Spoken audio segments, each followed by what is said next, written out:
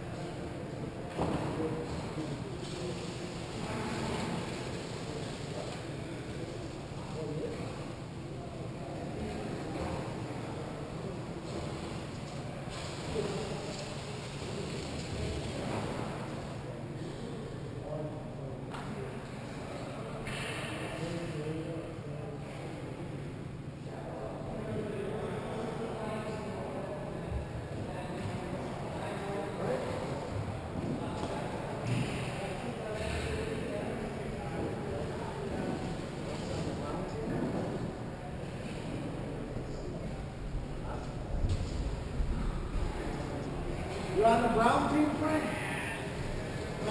Lovers? All right, good to see you, my friend. Dude, what were you uh, thinking? I just want to do it rap, I wasn't fucking thinking, you know? I've been playing like three rap games and we're like fucking stupid to do that, so.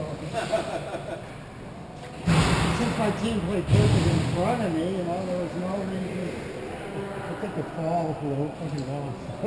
no, I'm just. Have a good one, man. Yeah, I was just. Uh, I was just surprised. it was a I'm Pat like, uh-oh. Walden thing, you know?